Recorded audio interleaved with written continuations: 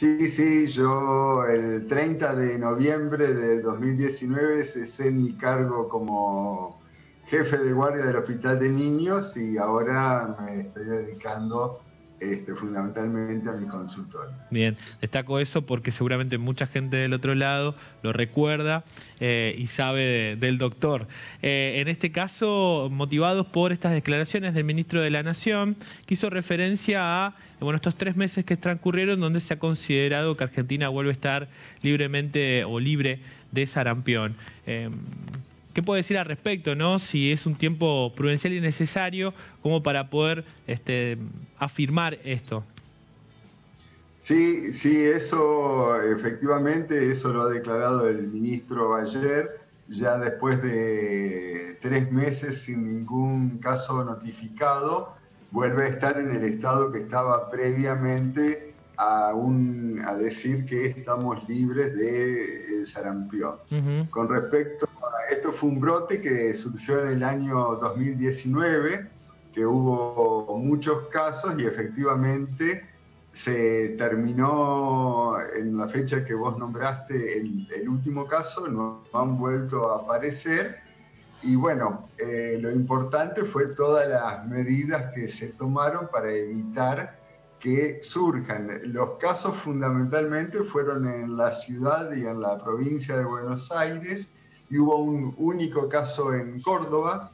Fundamentalmente todos empezaron a partir de contagios de gente que traía el virus desde el exterior, este, gente que vino de los Estados Unidos, gente que vino de Brasil, y fueron donde se ocurrieron los contagios. Eh, ¿Qué hay que saber de la enfermedad? Porque cuando uno consulta a los pediatras un poco más jóvenes, dice, no, consulte a uno con más experiencia, que es el que ha seguramente tenido la experiencia concreta con los casos de sarampión. Sí, efectivamente, nosotros cuando yo hice la residencia en el Hospital de Niños de Santa Fe, estuve bueno, haciendo residencia desde el año 83 hasta el 89, en el Hospital de Niños cada dos o tres años teníamos las epidemias en las cuales teníamos las salas llenas, llenas de chicos con sarampión. Mm. Y eso, el, último caso que digamos que hubo en la Argentina desde el año 2000 no había casos hasta el 2019. Claro. Así que nosotros vimos muchos eh, pacientes con sarampión y efectivamente los médicos más jóvenes, por suerte, no tuvieron la posibilidad de tener las epidemias que teníamos nosotros, que veíamos y en los cuales eh, era una enfermedad altamente contagiosa y que veíamos cómo se nos llenaban las salas con chicos con sarampión. Eh, ahí vemos algunas imágenes y aparece como un síntoma evidente esas manchas en la piel. qué más generaba?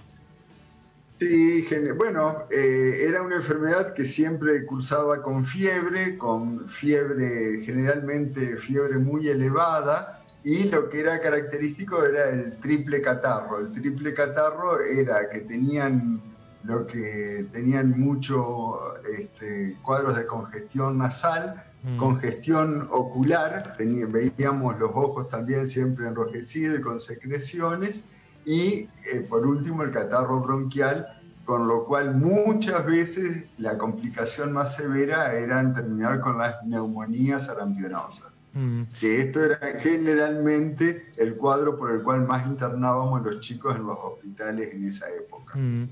Eh, de ahí en adelante, digo, cuando empezó esta campaña tan importante que logró, bueno, que no haya más casos por un largo tiempo en el país, eh, eh, es donde se pone en importancia la aplicación de las vacunas y los refuerzos. Sí, sí, sí, efectivamente en el plan de vacunación está la primera dosis que es al año de edad con la vacuna triple viral y después se coloca una segunda dosis en el ingreso escolar. Mm. Pero cuando ocurren este, situaciones de epidemia, ocurre lo que, eh, por ejemplo, la dosis del año de edad se anticipa al sexto mes de vida y este, en ese caso se coloca esa dosis, pero es una dosis cero, es decir, que después al año de edad hay que volver a colocar la vacuna y generalmente entre el segundo y el cuarto año se vuelven a hacer otros refuerzos y no esperar al ingreso escolar para colocar nuevamente la vacuna. Así que... Eh, los adultos eh, también deben tener una, una dosis, ¿no?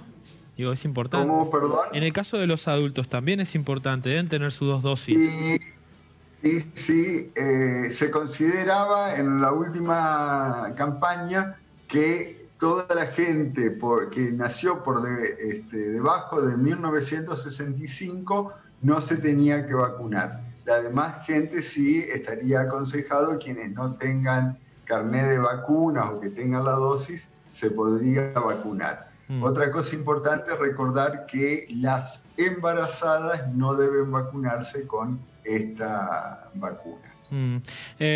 Contraindicada la vacuna en el embarazo. Bien, bueno, ahora con este cuadro, digo, actual, luego de las declaraciones del ministro, se ha logrado controlar esto que generó preocupación el año pasado, después de tantos años que no se hablaba de casos positivos de sarampión en el país.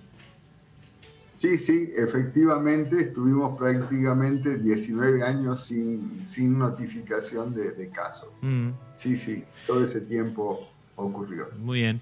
Em, ya para cerrar, la pregunta obligada, seguramente que a nosotros que le íbamos a molestar siempre no creo, pero es si, extraña la, función en el hospital público, eh, esa atención que me imagino debe tener sus características y particularidades.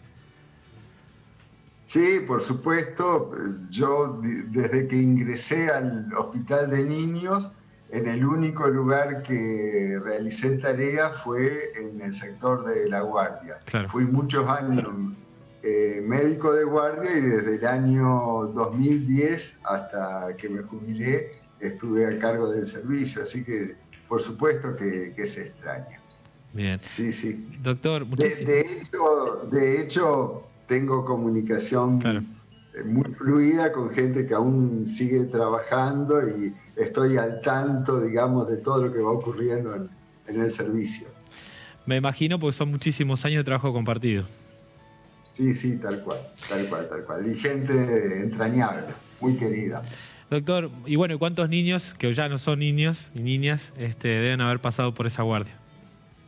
Uy, sí, sí. Este, bueno, es el lugar que mayor cantidad de niños atienden en la ciudad.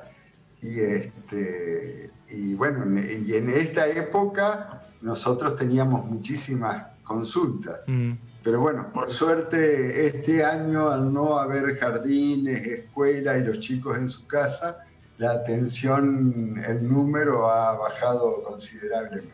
Con la atención puesta en otro lado por estas épocas. Es así. Sí, sí, tal cual, tal cual.